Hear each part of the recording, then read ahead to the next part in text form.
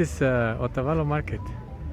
As you can tell, it's a beautiful day, and uh, you got a lot of stuff like tapestries, as you can see over there, wood hangings, very nice people. So it's really worth it. Uh, it's just an hour and a half away from Quito. Well, we have some stops on the way, but uh, more or less it's like uh, an hour and a half. So this will be a very nice option if you ever come here to Ecuador. You can do it in just one, one day, or you can stay overnight, doing visiting the waterfall and see all the markets and uh, the leather market, the volcano. So Otavalo itself is a very nice place, and it's just really uh, worth it to, to visit here. So whenever you come, here we are, Otavalo Market.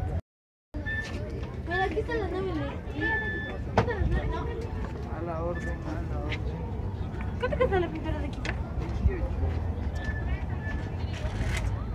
Famoso.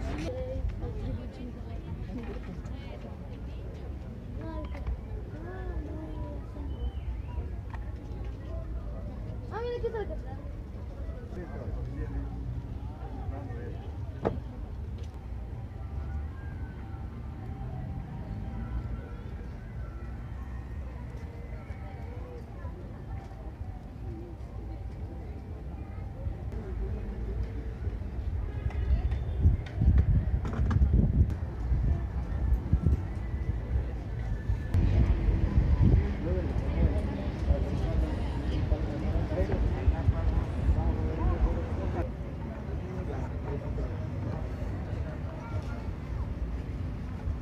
Ha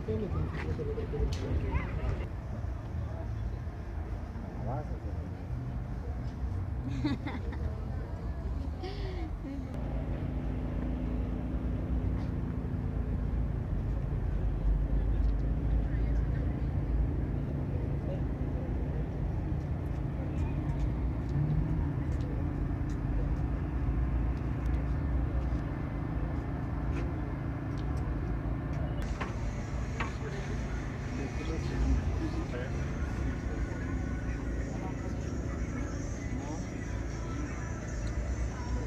After you've been on the market, what can you say about this place?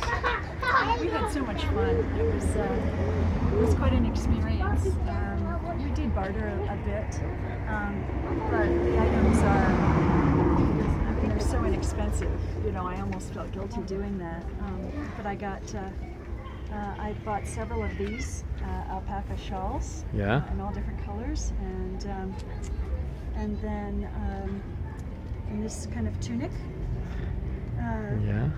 to wear home. Pretty, huh? Yeah. And it's all hand done. Very inexpensive. Yeah, that's it. It's very pretty. That's the main thing. Uh, can you recommend the market for everyone? Oh, absolutely. There's something in there for everyone, whether or not you're buying for children or um, uh, family. Uh, Yeah. Lots of scarves, uh, hammocks Uh huh. are wonderful, and uh, lots of jewelry. Uh, Bolivian stones, coral, lapis, that kind of thing, in every shape and form. Um, So, for all budgets. yeah, can you tell us where you're coming from? Uh, Sid and I traveled from uh, Florida, from the villages, Florida, uh, down to see a wedding in uh, Quito of relatives. So we've had a wonderful time. It's a great country.